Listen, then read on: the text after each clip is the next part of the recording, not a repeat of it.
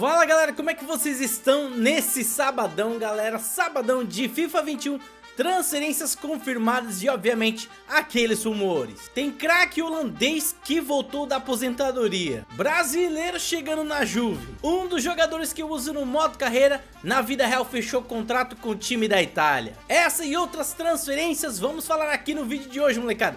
Conta com seu like, seu apoio e bora começar. Eu sei que você tá assistindo meu vídeo de hoje pensando, Pô, Fredão, cadê o modo carreira e tal? Bora chegar na época das transferências, fazer algumas contratações e na segunda temporada levantar a orelhuda. Só que desde o último episódio, em alguns lances, mano, esse daqui foi o cara principal do meu vídeo.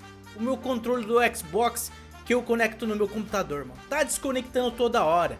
E o meu computador não tem habilidade de jogar sem fio então essa porcaria não presta. Toda hora que eu tento fazer um lance, desconecta. Eu chuto, desconecta. Chego na cara do gol, desconecta. Cheguei a gravar uma partida do próximo episódio, mas falei, não, não dá, mano. Não dá, vou demorar 10 horas e não vai ficar uma coisa boa. Eu vi que o controle do Playstation 4 tem a mesma entrada e eu tentei conectar no meu PC, mas aí o meu computador começou a ficar louco, tipo, fazer altos barulhos. Eu falei, mano, será que é só o fio específico do Xbox One? Mas o que, que, que eu posso fazer, tá ligado? Se o cabo meu ficou zoado, o outro cabo do Playstation 4 não funciona no Xbox One. Tentei conectar o controle do Playstation 4 na máquina e... Resumindo, tá uma lixeira. Tudo uma zica danada, mas... Vamos ver que quando chegar, mano, a gente já embala e termina a série logo de uma vez. Só tô pistola que isso aconteceu. Então bora direto ao ponto aqui do vídeo, molecada. O primeiro jogador, como vocês estão vendo na telinha, é o Timo Werner. Jogador que tava no Leipzig assinou um contrato com o Chelsea e foi transferido por 53 milhões de euros. E ele bateu no peito e falou, não, não, não, não vou jogar a reta final aí da Champions League. Já quero ir pra Inglaterra para começar treinando pensando na próxima temporada. Então com isso, mano, ele deixa o Leipzig como o maior artilheiro da sua história. Terminou de jogar a Bundesliga, mas não vai jogar a Champions League. Já vai se preparar em seu novo clube, o Chelsea. E o Chelsea com o Frank Lampard, né, mano, tá fazendo um ótimo trabalho. E agora eles começaram a gastar grana mesmo pra ver se o time vai ficar topzera ano que vem. A primeira contratação já havia sido o Ziyech, né, do Ajax pro Chelsea e agora comprou o Timo Werner. O time do Chelsea, com essas contratações, com os jogadores que tem, mano, vocês acham que consegue disputar o título do campeonato inglês e ir longe na Champions League, sim ou não? Quero saber a sua opinião. Mas de fato é que a contratação do Werner é uma ótima, né? Para ele e também para o futebol inglês que vai ficando cada vez mais forte.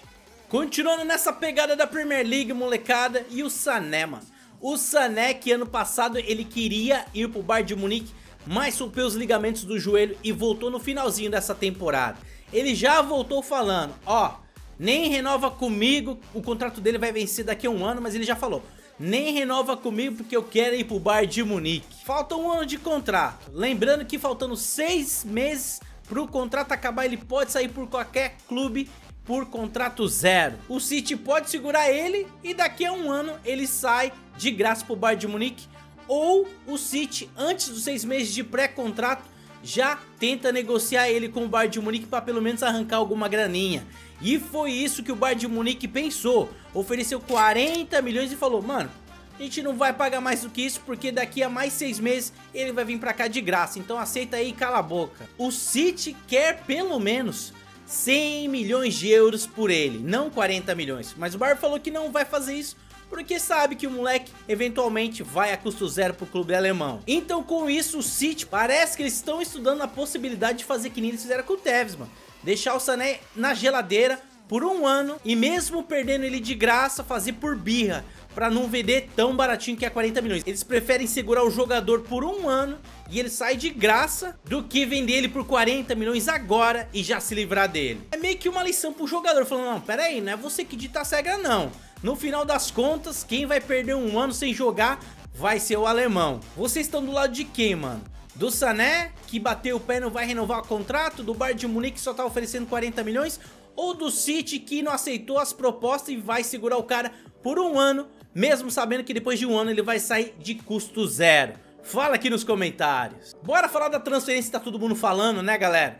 Que é a ida do Pjanic da Juventus para o Barcelona e do Arthur do Barcelona para a Juventus. De início o Arthur não queria fazer essa mudança, tá? porque, mano, todo brasileiro sonha jogar pelo Real Madrid o Barcelona. E ele já tava lá. Agora, quando ele descobriu que ele tava sendo envolvido em moeda de troca, ele falou, mano, já que os caras querem me livrar, vou fazer o quê? Pelo menos tá indo pra Juventus. Tem os jornais falando que nessa negociação vai trocar os jogadores e a Juventus vai pagar 10 milhões a mais pro Barcelona e nada mais do que isso.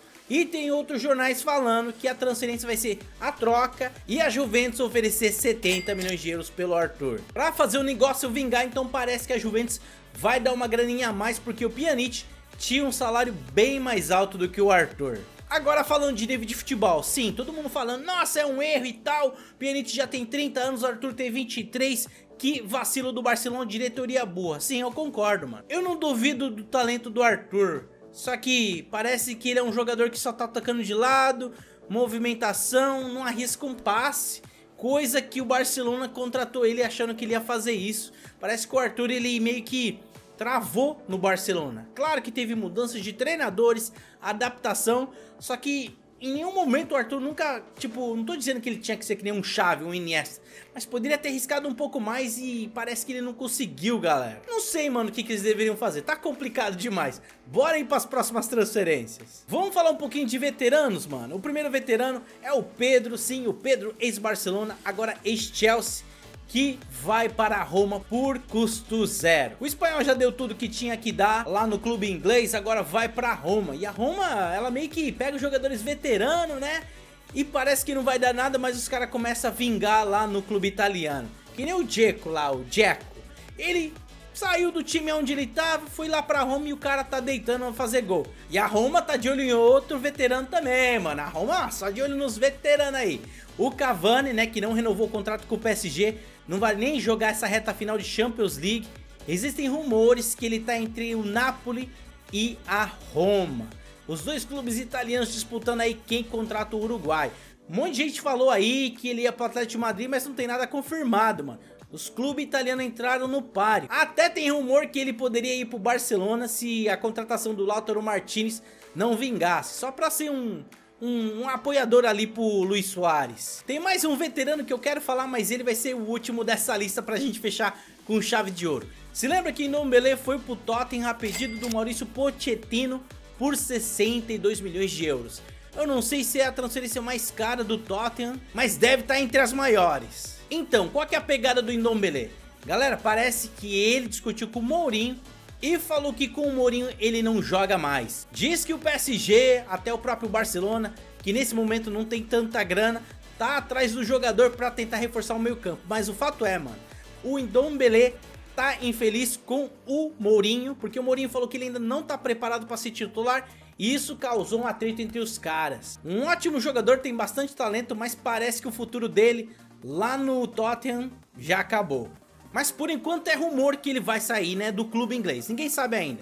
O que é fato, galera, é que Hakimi, o lateral direito do Newcastle no nosso modo carreira, que na vida real estava jogando pelo Borussia Dortmund, emprestado pelo Real Madrid, agora, de forma oficial, é jogador da Inter de Milão. Por 40 milhões de euros, esse lateral direito, meia direito marroquino, de 21 anos, vai para o clube italiano. Esse ano a Juventus parece que vai levar a Série A, a Lazio está em segundo e a própria Inter está em terceiro, mas acho que ano que vem, de fato, mano, vai ser pau a pau o campeonato italiano e a Inter também pode causar problemas aí para os outros times na Champions League. Tá ficando um time legal. E chegou a hora, mano, de falar do Robin. Sim, senhor, o Robin que se aposentou na última temporada, o holandês de 36 anos, voltou da aposentadoria.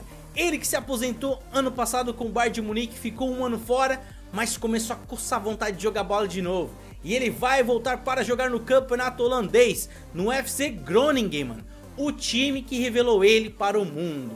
Ele jogou no Groningen no primeiro ano de profissional, com 16 anos, e logo depois ele acabou indo pro PSV, e o resto da história, vocês conhecem a carreira do Robin. Eu falo Robin, mas muita gente fala Robin.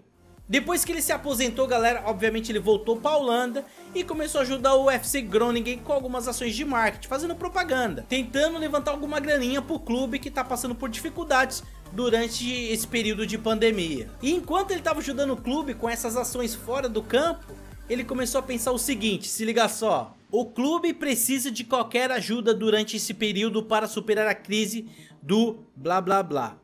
eu participei de várias ações e também pensei sobre o que mais eu poderia fazer pelo Groningen. Nas últimas semanas tive reuniões com pessoas do clube e ouvi muito da torcida. Robin, siga o seu coração. Um retorno como jogador do FC Groningen começou a coçar e agora é a minha missão. Estou trabalhando em um retorno como jogador de futebol no Groningen. O que sei é que isso vai ter o meu compromisso e motivação. O fato é que Robin vai voltar para o FIFA 21, obviamente porque ele vai voltar a ser um jogador profissional. Seja pelo Ultimate Team ou pelo modo carreira, qual que vai ser a visão geral dele, mano? Essa visão geral que eu coloquei é o que eu acho que ele voltaria. Se não me engano, no FIFA 19, quando ele saiu do FIFA, ele tinha uma visão geral de 85. Vocês acham que ele vai voltar com 83? Ou abaixo disso? Então é isso molecada, esse é o primeiro vídeo de uma série que provavelmente eu irei fazer conforme as transferências forem acontecendo. Conto com o seu like, o seu apoio e tomare que a situação do meu controle se resolva rapidamente. Bom final de semana, lute pelos seus sonhos, abração, tamo junto e tchau!